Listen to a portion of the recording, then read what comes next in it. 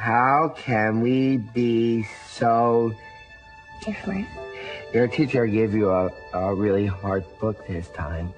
What's wrong with your father? Why is he acting like a retard? Yes. You're not like other daddies. I'm sorry. Daddy, I'm lucky. Nobody else's daddy ever comes to the park. No one doubts that you love your daughter. These shoes light up.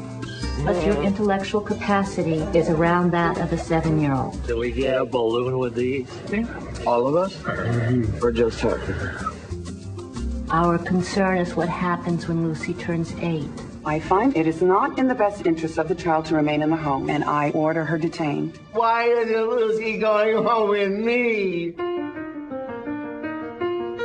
It's time that you get your own lawyer. This is one of the best ads I've seen in the yellow pages. You're my lawyer! Right, I'm your lawyer. Okay, we have a lot to go over, and I have five minutes. Green means go. You're going much faster than everybody else. Is she going to help us? Always set your dreams high, Lucy. I don't think you realize what you're up against. You gotta be firm on this. You have to fight for her. You don't know what it's like, but you try and you try and you try and you don't ever get there. I can go at least another nine rounds. But you gotta let me in. You think what they think. Sam can't take care of Lucy. It doesn't matter what I think. It matters that we win. It matters to me. Isn't it true that you know you need much more than your daddy can give you? All you need is love. What makes you think you can raise a seven-year-old? Every parent has those moments. A ten-year-old? Moments where the task is so unbelievably challenging A thirteen-year-old? that you feel retarded. She'll be six years more advanced than you. I wouldn't want any daddy but you. Did you hear that?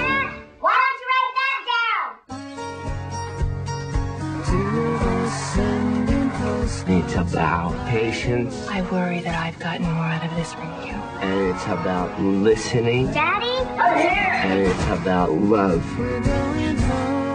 I am Sam. You're recording. Hi, this is Sam! It, it's an outgoing message, so I think you need to sound a little more outgoing.